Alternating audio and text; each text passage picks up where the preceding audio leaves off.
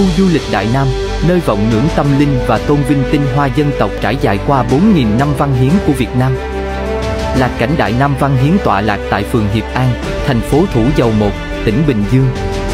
Đây là công trình du lịch quy mô lớn được xây dựng với tổng kinh phí khoảng 6.000 tỷ đồng, sau đó bắt đầu mở cửa đón du khách từ ngày 11 tháng 9 năm 2008 đến nay.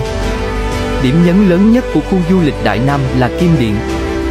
Tại đây du khách có thể được thể hiện tấm lòng thành kính với tổ tiên, được hòa mình vào những trang sử hào hùng của dân tộc Việt Nam.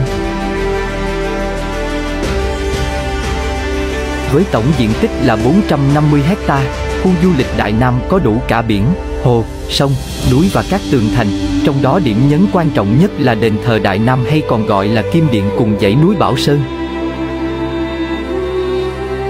Ngoài ra, tại khu du lịch còn có nhiều hạng mục quan trọng khác như vườn thú thiết kế mở, biển nhân tạo lớn nhất với 22 hecta và khu vui chơi giải trí.